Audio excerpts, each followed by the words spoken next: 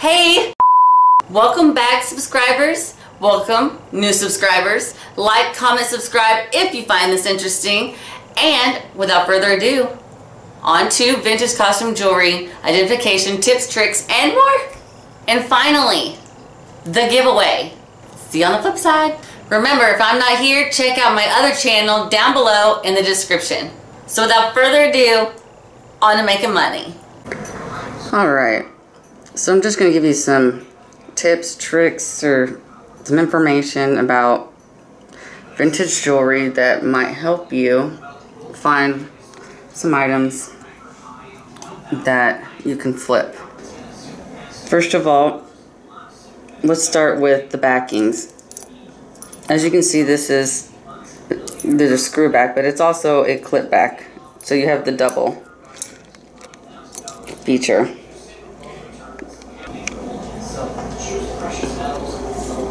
Here you have the option to either screw it through to double facet it with the clip or without. You can even see the ridges on the screw right there. It is a later version. It isn't the original screw backs, which would be more so this type of screw back. And if you put it sideways here, you can see right there the screw and you just turn and turn and it'll just get tighter. This is going to be more of the um, early 1900s. Then you have these ones. These ones would be the 30s. You can see by the backing clip also these ones.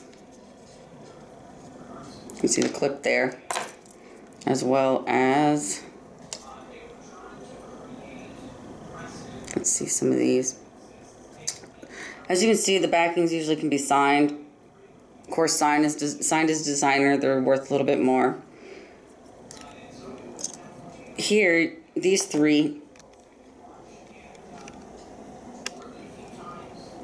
This is cloisonne. Sorry if I didn't pronounce it right. But that's when they put in the lines they'll trace out the lines here and then with enamel paint they go in and fill each one. And that's how you know um, that it's cloisonne and an enamel painted. And then when it's circular like this these are button earrings. And then again you have the backing. Now not to be mixed up with these which these are reproductions course, we still buy them because they're animals and animals sell. However, if you look at the back of these, you see that clip on the back, I mean the stopper? This stopper here is actually more modern than the average one because the average, the, the I mean the vintage ones. So if you look at the vintage backs. You can see here they have the three. It's more elegantly decorated. And then you can look at these ones, less decoration, oh, but of course they use brass. A lot of this silver and stuff was being used, metals was being used. And then you have these backings. You have the soft pad, the stopper, and again, you have the pretty decorated backing. These, even if the earring itself wasn't all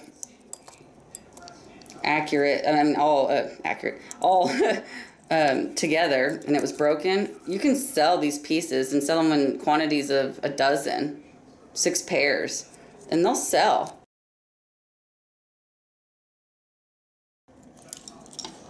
These are 1920s. You can tell by the top of it, it's real structured. All the lines. And then dangle earring. These are beaded earrings. These are going to be more of the 40s. You can see the prongs, how high up they are. The higher they are, the more secure each individual bead is. So they, they put more money into the metal, more time into enclosing these inside the setting. Also, you can see here that it was pieced on together, so welded, welded, and welded. This backing here is more of a 1940s backing. And it is also a clip with the filigree backing, but it is glued. So, these are a little bit newer. And as shiny as those are, these are crystal, high-end crystal. Swarovski crystal. You can tell the quality just by looking at this reflection as well as looking at the prongs. You see how the prongs come all the way over, all the way over? This is imperative to look for because uh, a lot of the new aged um, rhinestone jewelry, you'll notice that these prongs that they use are not as tall or long or secure. Even on these little small ones, they're real secure. See, see how they go all the way to the middle of the actual center? Those aren't going anywhere.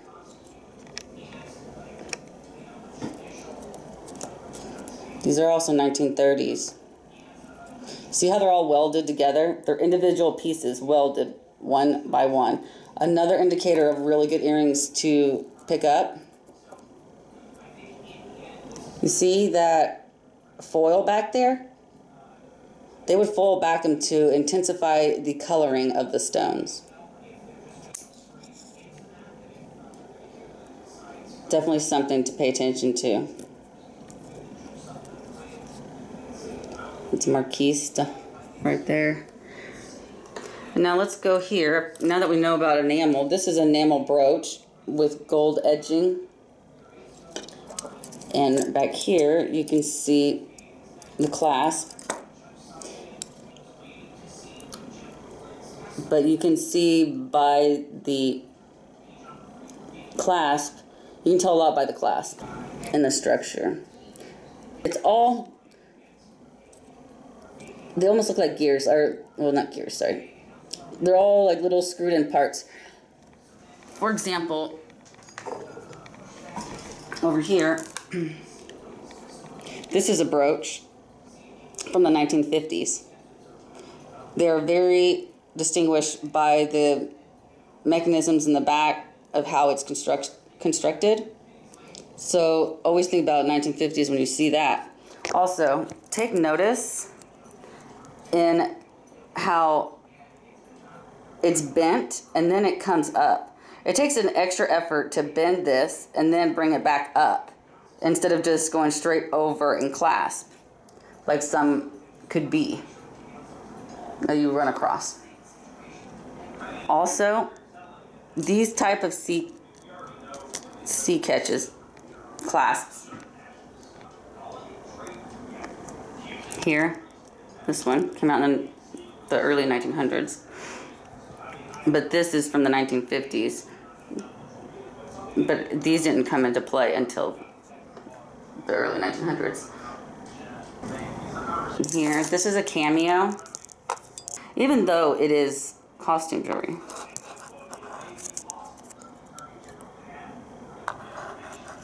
Again, animal cell. Also, I want you to look at these. These are shoe clips. And the difference between a shoe clip and a fur clip is that shoe clips are small and fur clips are much larger. And they usually come in pairs of two as well. But that's how you identify them. See how big that one is and how little these are? Shoe clip. Fur clip. You can also see the depth of the teeth. If you put your finger on these ones, they'll cut you. I mean, like, they'll poke you hard. I mean, because they used to wear real fur, right? You can also tell these are early because they, they're made in the USA. And a lot of stuff was brought in from Japan, West Germany. And these are still made in the US, so they're older. And those would go for 20 bucks easily. Now, let's talk about celluloid. Celluloid is often confused with ivory. Speaking of ivory, we're not allowed to sell ivory even when it's vintage jewelry, like um, I have some, I or I had some ivy um, earrings and necklace, but although it was legal then, it's not legal now, and um, I don't know how far into letting the government know what you have to even uh, be able to own it. Like, I think you have to let the government know and all that. So, I either use them in crafts or, um, and not for selling purposes, or there's a lot of uh, donation um, art, uh, artists that take donations like that and use them in their pieces as well. Um, especially bone art, uh, bone artists that um, their medium is using ivory and different types of bones. Now this is celluloid. It's look to it's uh, made to look like ivory. Uh, you can see how each of them are carved here.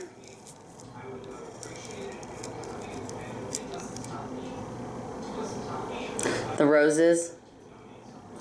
You definitely have to make sure you look at these to make sure that's all they're not damaged.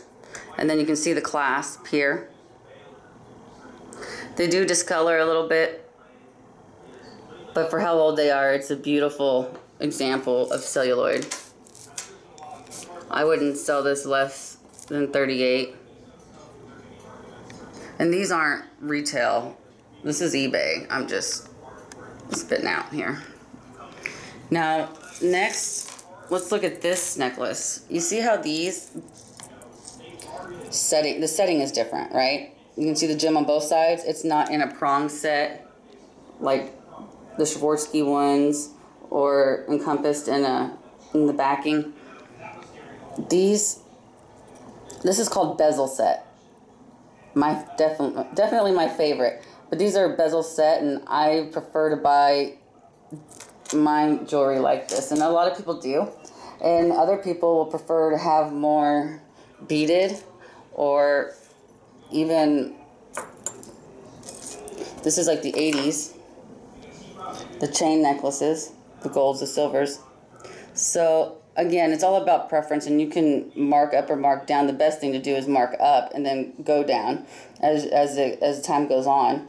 But again i can tell you i sell everything eventually and I, I just put it on and i just let it sit and it sells i can say jewelry sells the most out of all my stuff. This is also is lucite. Lucite is a clear plastic, and they put this is confetti inside, but this is uh, coral. Pay attention to this type of um, chain. These chain links like this, especially the, like the rectangle, are older we're looking 40s, 50s. This is a choker. In the backing, you can see how these are constructed. Each individual clasped on through here. And then each uh, lucite piece was made and they were put together on each one of these and then they were clasped together. So there's so much detail in each part of this that um, they had to take time in doing. So if you look at earrings nowadays, you would see probably this whole piece would be connected as one base instead of individually linked. and then a piece on top, and then the lobster claw clasp. There we go. Here it is. And that's a lobster claw. Now, when you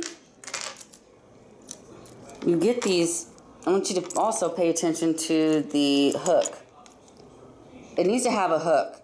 If it's vintage, they didn't, or a button clasp, or an actual like hook clasp. Um, but you'll find the name of the designer here. And this one's Coro. And I wouldn't post this for less than $28. And I wouldn't, I could go up. Now, I also want you to look at this clasp. This is more of a 1980s clasp. You'll see this a lot. It's right before the lobster clasp came out. But that necklace with the matching earrings, I would definitely post that for no less than twenty eight ninety nine. And you can even start it at 33. I also want to show you these. These are three-dimensional floral bezel set, as we learned earlier, bezel set.